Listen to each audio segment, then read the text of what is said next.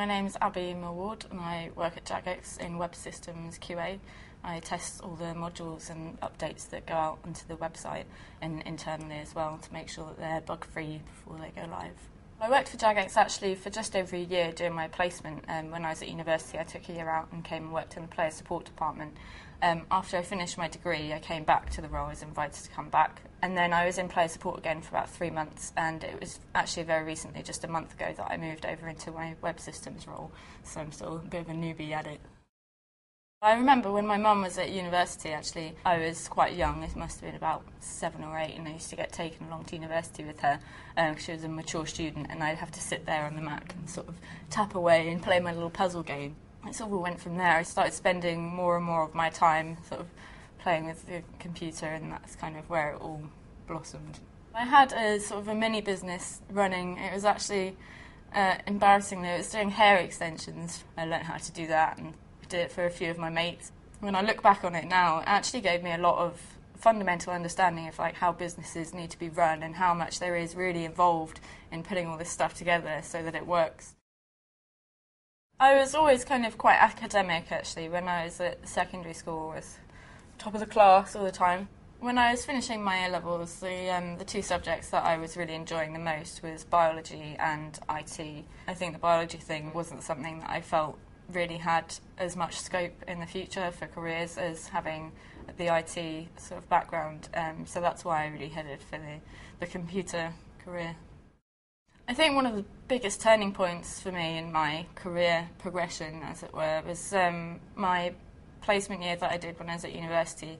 When I started uni, I sort of I picked a course that I think even now I think probably wasn't what I should, really should have done. I would have enjoyed something different a lot more, but taking the gap year and coming to Jagex for a year really helped me decide where I want to go.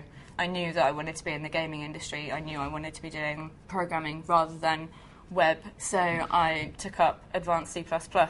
It was pretty tough sort of settling into the new um, module. I mean, I think more than anything was the fact that I'd been dumped in with all these computing students, and of course they're all guys, and um, they all sort of thought, uh, "Oh, she doesn't know what she's doing," but then by the end of the year, I'd got marks higher than pretty much all the computing students. So I uh, proved myself eventually. But it was, it was hard, but putting the extra time in really made a lot of difference to my career. So I'm really pleased that I did it.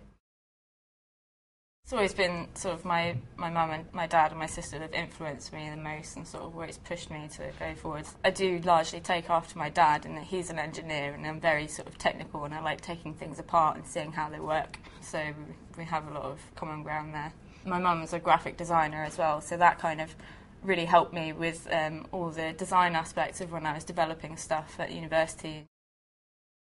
At the moment, I'm actually renovating my house, so pretty much all of my spare time is spent painting and knocking down walls and all that sort of things. I play a few games as well. I'm not a, I wouldn't classify myself as a gamer, um, but I do. I play a bit of RuneScape. Shamefully, don't tell anyone.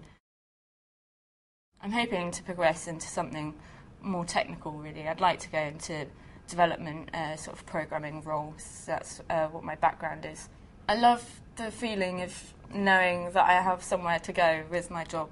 Once you're in Jagex, you can move around almost freely into anything that you want to do, you know, so long as you've got the passion behind what you want to do and to be able to push yourself that much further, then you can really achieve anything, which is awesome.